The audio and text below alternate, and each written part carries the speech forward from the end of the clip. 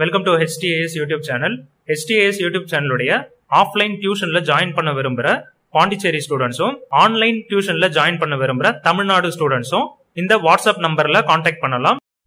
இந்த வீடியோல tenth standard maths exercise eight point த்ரீல ஃபர்ஸ்ட் ஃபைவ் சம்ஸ் பார்க்க போறோம்.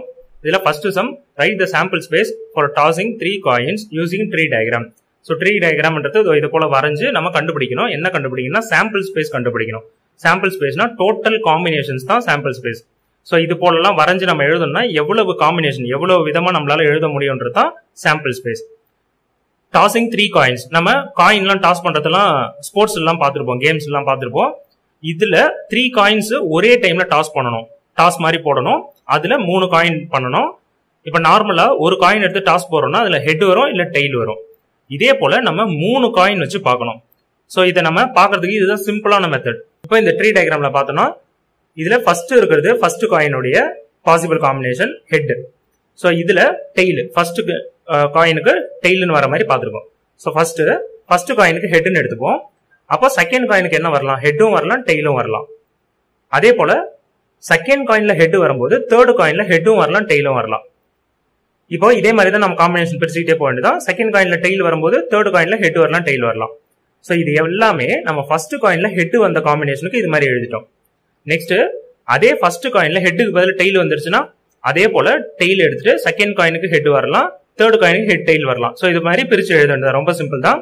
இதை கடைசியாக சாம்பிள் ஸ்பேஸ்னு எழுதும் போது ரொம்ப சிம்பிள் இதுல அப்படியே ஃபர்ஸ்ட் இருக்கிறத ஃபினிஷ் பண்ணிடணும். ஹெச் ஹெச் ஹெச் அதுக்கப்புறம் ஹெச் ஹெச் டி அதுக்கப்புறம் இந்த செட்டு அதுக்கப்புறம் இந்த செட்டு ஸோ இது அப்படியே ஒரு ஃபோர் இது வந்து முடிஞ்சிடும் அதுக்கு அடுத்தது டிஹெச்ஹெச் இதோ இருக்கு பாருங்க. THH THT TTH TTT next second sum write the sample space for selecting two balls from a bag containing six balls number one to six using tree diagram so இதுவும் tree diagram method first சம்ல coin பார்த்தோம். இந்த சம்ல பேக்ல பால் இருக்குன்னு பாக்குறோம் so இப்போ ஒரு பேக்ல ஆறு பால் இருக்கு. அதனுடைய நம்பர் வந்து ஒன்ல இருந்து சிக்ஸ்ன்னு போட்டிருக்காங்க. இதுல இருந்து நம்ம ரெண்டு பால் செலக்ட் பண்ணணும். ஸோ இப்போ இந்த ரெண்டு பால் செலக்ட் பண்ணும்போது நம்ம என்ன புரிஞ்சுக்கிறோம்னா ஃபர்ஸ்ட் ஒரு பால் எடுக்கிறோம். ஃபார் எக்ஸாம்பிள் ஒன் எடுக்கிறோம்னா அந்த பாலை வெளியே எடுத்தாச்சு. அதுக்கு அடுத்தது அந்த பால் ஒன்னு வந்து உள்ளார இருக்காது. அப்போ ரெண்டாவது நம்ம எடுக்கிற பால்ல ஒன்னே இருக்காது பாருங்க. So two three four five six தான் இருக்கு. அதே போல இன்னொரு செட் எடுத்துப்போம். ஃபர்ஸ்ட் எடுக்கிற பால் வந்து டூ அப்போ செகண்ட் எடுக்கிற பால் தான் நான் இங்கே எழுதியிருக்கேன். அதுல டூ வராது. ஸோ நெக்ஸ்ட் காம்பினேஷன் ஃபர்ஸ்ட் எடுக்கிற பால் வந்து த்ரீ அப்போ செகண்ட் எடுக்கிற பால்ல வந்து த்ரீ வராது. இது போல ஃபர்ஸ்ட் எடுக்கிறது வந்து one two three four five six எந்த பால் சொன்னாலும் வரலாம். ஃபர்ஸ்ட் எடுத்த உடனே அந்த பால் வந்ததுன்னா அது செகண்ட் நம்ம எடுக்கும்போது செகண்ட் பால் எடுக்கிறோம்ல அதுல அந்த நம்பர் வரக்கூடாது. அவ்வளவுதான். அதுக்கேற்ற மாதிரி எழுதிட்டோம்னா முடிஞ்சிருச்சு. ஸோ இந்த சம்ல இதுவே ரீப்ளேஸ் பண்ணலாம் அப்படின்னு கொடுத்துருந்தாங்கன்னா இப்போ உங்களுக்கு சம்ம மாத்தி கொடுக்குறாங்கன்னா ரீப்ளேஸ் பண்ணலாம்னு கொடுத்துருந்தாங்கன்னா எடுத்த பாலையே திரும்ப நம்ம உள்ளார வச்சிடறோம்னு அர்த்தம். ஸோ அப்போ எழுதும் போது இது போல எழுதணும். இது ஜஸ்ட் புரிஞ்சுக்கிறதுக்காக தான் ஸோ ஒன்னுன்றது ஃபர்ஸ்ட் ஃபர்ஸ்ட் எடுக்கிற பால் இப்போ செகண்ட் எடுக்கிறதுலயும் ஒன்று வந்திருக்கு பாருங்க. அது வந்து ரீப்ளேஸ் பண்ணிட்டோம். அது நம்ம திரும்பவும் வைக்கிறோம்னு அர்த்தம். ஃபர்ஸ்ட் ஒரு டைம் எடுக்கிறோம் திரும்ப வைக்கிறோம். அது போல கேட்டிருந்தாங்கன்னா இப்படி எழுதணும். ரீப்ளேஸ் பண்ணலனா இது போல நார்மல் சம்ல வந்து உங்களுக்கு கொடுத்த சம்ல வந்து ஃபர்ஸ்ட் எடுக்கிற பால திரும்ப எழுதக்கூடாது. ஸோ இதுக்கு சாம்பிள் ஸ்பேஸ் எழுதணும். ரொம்ப சிம்பிள் ஃபர்ஸ்ட் எடுத்தனே ஒன்னு எழுதிக்கணும். ஃபர்ஸ்ட் லைன் நான் எழுதிக்கிறது பாருங்க. எல்லாத்துலயுமே ஃபர்ஸ்ட் வந்து ஒன்னு இருக்கும். So one comma two one comma three one comma four one comma five one comma six அது அப்படியே லைன் எழுதியிருக்கேன் பாருங்க. அதுக்கடுத்து டூன்றத செகண்ட் லைன்ல எழுதிருக்கேன் த்ரீன்றத தேர்ட் லைன்ல எழுதிருக்கேன் அப்புறம் ஃபோர் ஃபைவ் சிக்ஸ் இது போல ஆர்டரா எழுதணும்னா நம்மளுக்கு ஈஸியா எதுவும் மிஸ் பண்ண மாட்டோம். ஈஸியா பாக்குறதுக்கும் ஈஸியா இருக்கும். அதுக்காக தான். Next third sum if A is an event of a random experiment such that P of A is to P of A bar equal to seventeen is to fifteen இதை வந்து ரேஷியோன்னு சொல்லுவோம். இது போல எழுதிருந்தா and n of S equal to six forty then find P of A bar second n of A இந்த கொஸ்டின்ல ரெண்டு கண்டுபிடிக்கணும். ஸோ நம்ம கொடுத்துருக்கிறது வந்து ரேஷியோ ஃபார்மில் கொடுத்துருக்காங்க ப்ராபபிலிட்டியை வந்து ரேஷியோ ஃபார்மில் கொடுத்துருக்காங்க. ஸோ இது வந்து ஏன்றது வந்து ஒரு ஈவெண்ட் ஒரு செயல். அது வந்து ரேண்டமாக இருக்கு.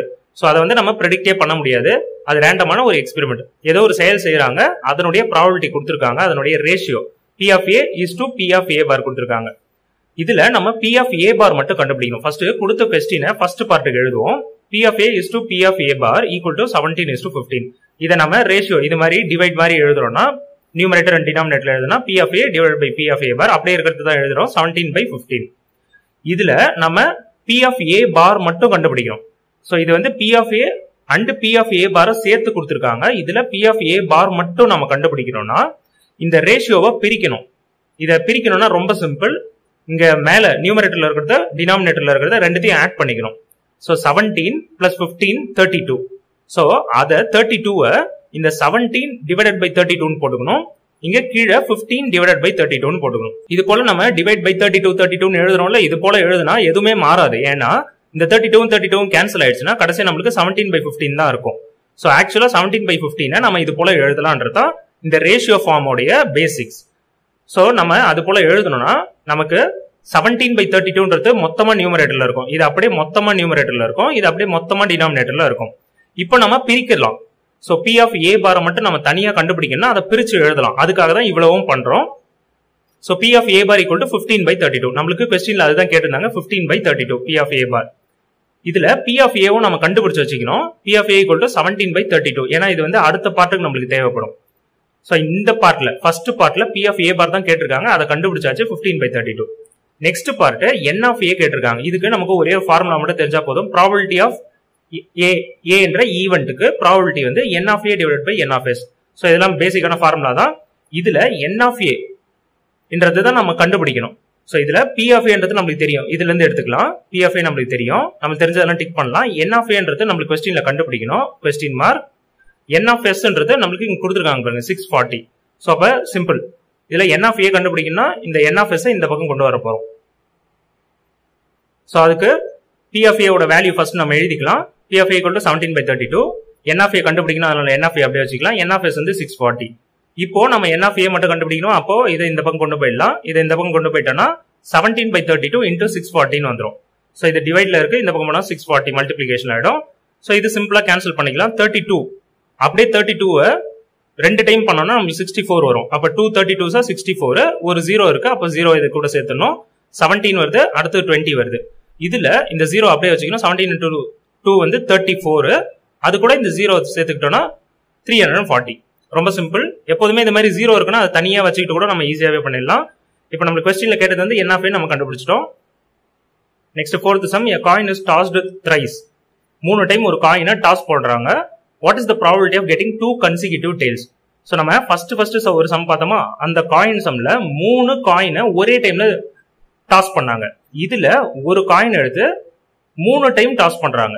ஸோ அவ்வளோதான் வித்தியாசம். ஆனால் சாம்பிள் ஸ்பேஸ்லாம் சேம் தான். இதில் என்ன கொஸ்டின்னா டூ கன்சிக்யூட்டிவ் டெய்ல்ஸ் நம்ம மூணு காயின் த்ரோ பண்ணுறோம் அதை டாஸ் பண்ணுறோம் ஃபர்ஸ்ட் ஒரு டைம் செகண்ட் தேர்டு அது போல் மூணு டைம் பண்ணும்போது ஏதாவது ரெண்டு டைம் தொடர்ந்து டெய்ல் வரணும். ஸோ இப்போ இதில் பார்த்தோம்னா நமக்கு ஈஸியாகவே புரிஞ்சிடும் சாம்பிள் ஸ்பேஸ் நம்ம எழுதுறோம்னா நம்ம ஃபர்ஸ்ட் சம்முக்கு என்ன எழுதுறோமோ அதே தான் வரும். அதாவது first coin second coin third coin தனித்தனியாக த்ரோ பண்ணாலும் அதே போல தான் head head head head head tail இது மாதிரி வரும். இதை எழுதிக்கலாம். நம்ம அந்த ட்ரீ டயக்ராம் மாதிரி போட்டு கூட இதை ஞாபகம் வரலன்னா அது மாதிரி எழுதிட்டு கூட எழுதிக்கலாம். ஸோ இதில் சாம்பிள் ஸ்பேஸ் டோட்டல் நம்பர் பார்த்தோம்னா எயிட் இருக்கு. மொத்தம் எயிட் இருக்கு அதை எழுதிக்கணும். Let A be the event of getting two consecutive tails so நம்ம ப்ராபிலிட்டியில பி ஆஃப் ஏ கண்டுபிடிக்கணும்.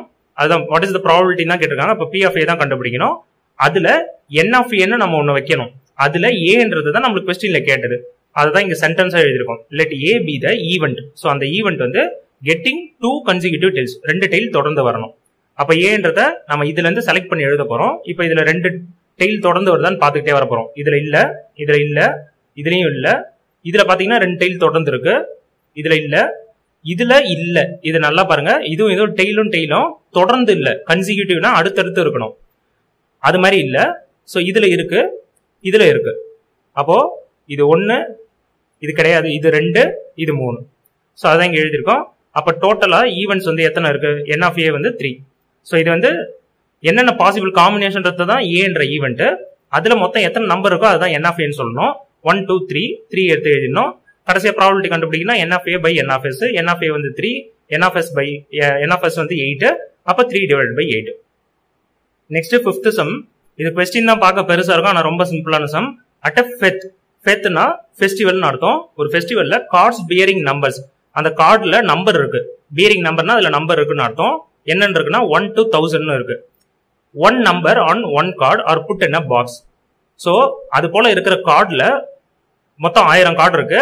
ஒரு ஒரு கார்டுலயும் ஒரு நம்பர் இருக்கு. அந்த நம்பர் வந்து ஒன்றுலேருந்து தௌசண்ட் இருக்கலாம். ஸோ எல்லா கார்ட்லயும் அதாவது ஒரு ஒரு கார்டுலையும் ஒரு நம்பர் தான் இருக்கும். அது ரிப்பீட் ஆகல. ஸோ அதுதான் ஒன் டு தௌசண்ட் கார்ட்ஸ் இருக்கு. ஒன் டு தௌசண்ட் நம்பர் போட்டிருக்காங்க அதில். அந்த கார்டெல்லாம் எடுத்து ஒரு பாக்ஸில் போட்டுடுறாங்க. Each player selects one card at random so பிளேயர்ன்ற அந்த கேம் ஏதோ ஒன்று விளையாடுறாங்க. அந்த பிளேயர் வந்து ஒரு கார்டு வந்து ரேண்டமாக எடுக்கிறாங்க. ஸோ யாருக்கும் என்ன வரும்னே தெரியாது. அதுதான் random and that card is not replace so எடுக்கிற கார்டை திரும்ப அந்த பாக்ஸில் போடலை. அதுதான் நாட் ரீப்ளேஸ் எடுக்கிற கார்டை அந்த பாக்ஸில் போடல. If the selected card has a perfect square number greater than five hundred the player wins a prize so அது போல் இந்த கேமில் அந்த கார்டை எடுக்கும்போது அந்த வர கார்டோடைய நம்பர் வந்து ஃபைவ் ஹண்ட்ரடை விட அதிகமாக இருக்கணும். அதே போல் அந்த நம்பர் வந்து பெர்ஃபெக்ட் ஸ்கொயராகவும் இருக்கணும். ஃபைவ் ஹண்ட்ரட் விட அதிகமாக இருக்கணும் பெர்ஃபெக்ட் ஸ்கொயராகவும் இருக்கணும். பெர்ஃபெக்ட் ஸ்கொயர்னு நம்மளுக்கு தெரியும். ஸோ ஒன் ஸ்கொயர் வந்து one two square is four so அந்த ஃபோர்னு சொல்கிறோம்ல அதுதான் பெர்ஃபெக்ட் ஸ்கொயர் அதே போல் த்ரீ ஸ்கொயர் நைன் நைன் எடுத்து பெர்ஃபெக்ட் ஸ்கொயர் இது போல் நம்ம லைனாக எழுதிக்கிட்டே போகலாம் அது போல் எழுதும்போது ஃபைவ் ஹண்ட்ரடை விட அதிகமாக வரணும் தௌசண்டை விட குறைவாக வரணும். ஸோ அந்த நம்பரை பார்க்கணும். அந்த நம்பர் வந்ததுன்னா அந்த கார்டை எடுத்த பிளேயர் வந்து வின் பண்ணிட்டாருன்னு அர்த்தம்.